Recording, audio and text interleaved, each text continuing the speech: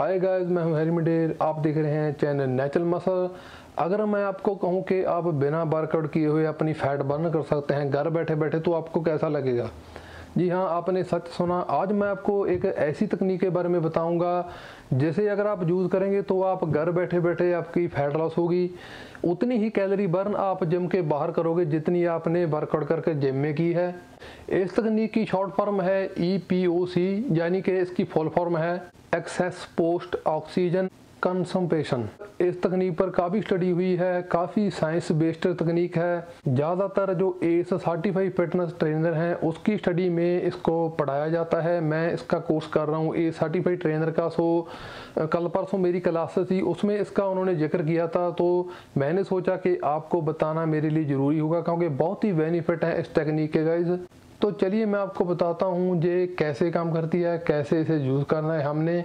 इस टेक्निक को post worker में यूज़ करना है। जब आपने जिम लगा ली, अपनी वेट ट्रेन ख़त्म कर ली, उसके बाद आपने तुरंत बाद फास्ट कोई ऐसी कार्डियो एक्सरसाइज करनी है जिससे आपकी हार्ट रेट है जहाँ आपकी सांस फूल जाए।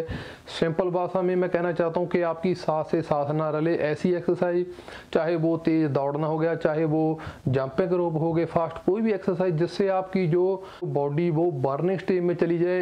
इस तकनीक को कंपेयर किया गया है। इस तकनीक का एग्ज़ाम्पल दिया गया है। जैसे एक कार का इंजन होता है।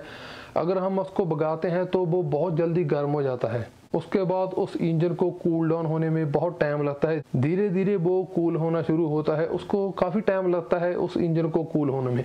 वैसे ही वर्कआउट के बाद हम अपनी बॉडी को बर्नर स्टेज में ले जाते हैं, यानी कि काफ़ी तेज कोई एक्सरसाइज करते हैं। हमारी हार्ट रेट बढ़ जाती है, हमारे सांस तेज चलने लग जाते हैं। तो तो वहाँ पर ये ई पी ओ सी यानी कि एक्सेस पोस्ट ऑक्सीजन कॉन्सनट्रेशन वाली जो टेक्निक है, वो काम करती है। हमारी बॉडी एक बर्निश स्टेज में चली जाती है तो जब हम वर्कआउट फिनिश करते हैं तो कार के इंजन की तरह हमारी बॉडी को कूल डाउन होने में बहुत टाइम लगता है। आपको लगता है कि आपने वर्कआउट कर लिया, आपने कार्डियो कर ली, उतने टाइम तक आपकी कैलोरी बर्न हुई तो आप अब घर पर बैठे हो या कोई दिन भर काम कर रहे हो तो आपको लगता है कि उसी टाइम मेरी बॉडी ने कैलोरी बर्न की है। जब आप इस तकनीक को यूज़ करते हैं, यानी कि कोई फास्ट मूवमेंट करते हो वेट ट्रेन के बाद तो तो जो आपकी बॉडी है, उस पर ये तकनीक लागू होती है। तब आपकी बॉडी एक बर्न स्टे में चली जाती है। तो वर्कआउट के बाद भी तीन घंटे, पाँच घंटे छः घंटे आपकी बॉडी की जो कैलोरी बर्न की स्पीड है, वो बनी रहती है आपकी बॉडी को। जैसा मैंने बताया था कि कार के इंजन को ठंडा होने में टाइम लगता है तो आपकी बॉडी को भी उस सिचुएशन में रिकवर होने में टाइम लगता है, वो बर्निंग मोड में आ जाती है। इसी तकनीक को ई पी ओ सी कहते हैं तो आपकी बॉडी बाद में भी कैलोरी बर्न करती रहती है।